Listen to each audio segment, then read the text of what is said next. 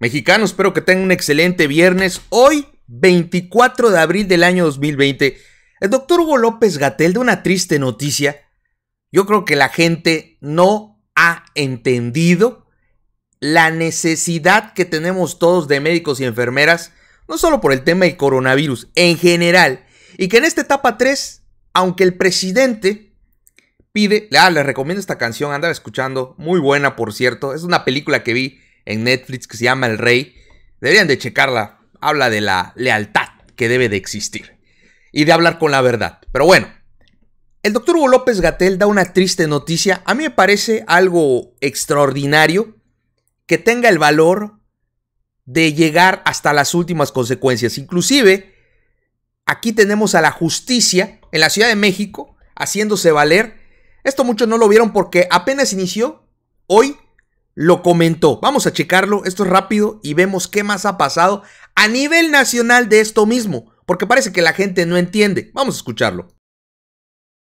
de México, vamos a iniciar la conferencia de prensa diaria sobre la situación de COVID, la pandemia causada por el virus SARS-CoV-2 en el mundo y en México. Me acompañan, como en otras ocasiones, el director general de epidemiología, doctor José Luis Alomía, Bienvenido, doctor Almía.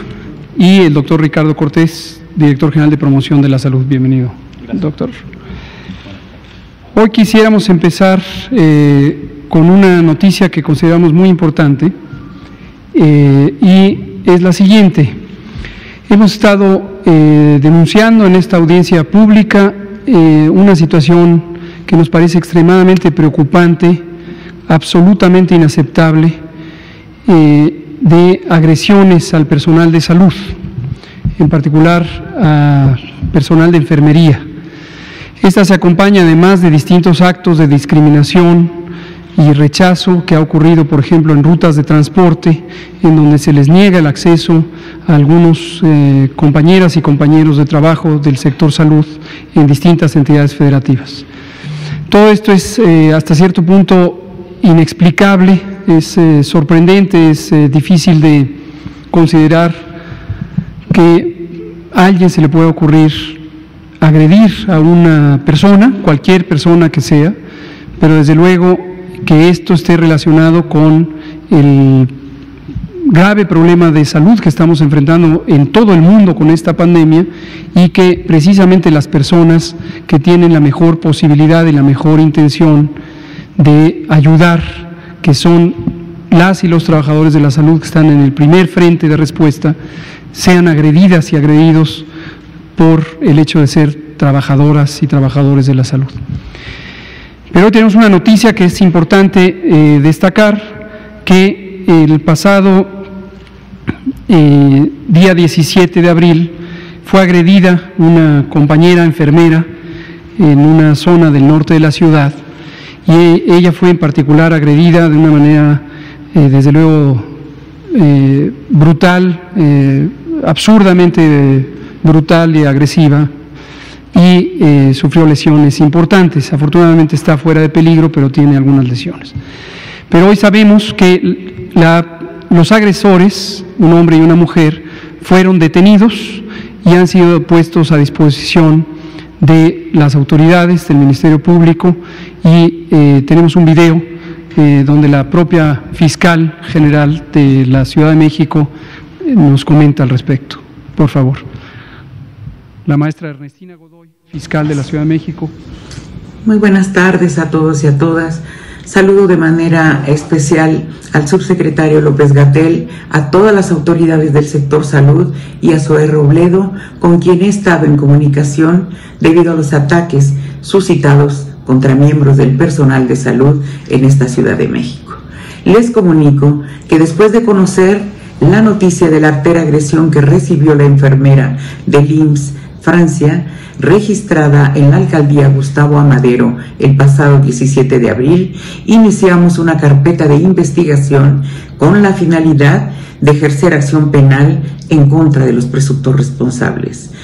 Del resultado de nuestras investigaciones, la Fiscalía General de Justicia de la Ciudad de México solicitó y obtuvo órdenes de aprehensión contra un hombre y una mujer por su probable responsabilidad en la comisión de los delitos de tentativa de homicidio y discriminación en agravio de una trabajadora de la salud. Estas personas se encuentran en prisión y esperamos la audiencia para vinculación a proceso en las próximas horas. Es inadmisible cualquier acto de agresión en contra del personal médico que lucha por preservar la salud y la vida de todas y todos nosotros. Nada lo justifica. Quiero dejar claro, no habrá impunidad ni tolerancia alguna para este tipo de actos. La Fiscalía actuará de manera implacable, inmediata y con todo el rigor de la ley contra quien atente contra la integridad del personal de salud. Debemos unirnos para apoyar y proteger a todas las personas que dedican su vida al cuidado de nuestros enfermos, a nuestros profesionales que luchan contra una pandemia donde todos somos vulnerables. El gobierno de la ciudad y la fiscalía estaremos atentos. Seguimos atendiendo todas las denuncias a través de nuestras agencias o por internet a través de la Agencia de Denuncia Digital. Muchísimas gracias. Pues eso es. Muchas gracias, eh, señora Procuradora, señora Fiscal General de Justicia, eh, maestra Ernestina Godoy Ramos, eh, por la pronta resolución del acto de Procuración de Justicia y esperamos sentidamente los miembros del sector salud y supongo toda la sociedad que se haga una procuración y en su momento impartición de justicia como corresponde a las leyes y que estos actos eh, sean correctamente sancionados conforme corresponda en cada situación. Y ojalá que en toda la República se tengan los mismos criterios de una pronta, de una expedita eh, procuración e impartición de justicia y que esto sirva para que en toda la sociedad todas las personas que pudieran tener una conducta delictiva, presuntamente delictiva como es esta, eh, sepan que esto no se puede tolerar. Bastante serio el doctor Hugo López Gatel, bastante serio fue lo primero que se presentó. No hablaron primero del tema de los números, cómo han subido. Se habló de la Procuración de Justicia y de que esto no se debe de repetir porque lamentablemente está, en vez de disminuir, aumenta aumenta. O sea, no puede ser posible. Docenas de trabajadores médicos han sido atacados, inclusive, olvídense únicamente del tema de, de los ataques. Estamos hablando de que no los dejan subir al taxi, no los quieren ni siquiera el Uber, inclusive las combis, los camiones. ¿Cómo puede ser esto? Es inexplicable que la gente que nos está salvando, aunque sea su trabajo porque hay unos ignorantes, es que su trabajo capechaneando. La verdad no debería ser su trabajo así porque literal entran en fase 3 y, la, y los insumos no llegan. Llámese porque sea culpa de los gobernadores o no. La cosa es que están trabajando sin la seguridad y lo están haciendo por ti, por mí, por todos. Y aún así les pagas de esta manera. O sea, todavía se sacrifican y la gente en vez de tenerlos como héroes, los trata así. ¿Qué clase de monstruo tienes que ser para que no te entre tu cabeza lo que están haciendo los médicos y enfermeras en el país? ¿Qué clase de persona tienes que ser? Alguien muy estúpido o muy ignorante, literal. Por cierto, esto le escribió un niño al doctor Hugo López Gatel, un niño chico, pequeño, nueve años. Miren, Gatel, COVID, quédense en casa. Y le pone ahí dos eh, con antibacterial. Y esto ¿Qué puedo decirles? Al final todos nosotros necesitamos un héroe. ¿Qué mejor que de niño veas a alguien como el doctor Hugo López Gatel? Yo sé que está Batman, Superman. De hecho, eh, a mí una de las cosas que más este, me gustaban de chico eran los caballeros del Zodiaco, Transformer. Pero tener a alguien como el doctor Hugo López Gatel habla del extraordinario trabajo que está haciendo en México y de cómo los niños lo ven como un superhéroe. De hecho, hay una invitación para los niños. Pregúntale al doctor Hugo López Gatel el 30 de abril, Día del Niño. Este sábado y domingo, eh, sábado 25 y domingo 26, manda un video o un dibujo y podrás preguntarle al doctor Hugo López Gatel, presentarte con él, con tu sana distancia, y habrán ganadores para este 30 de abril que puedan estar allí. Es muy bonito.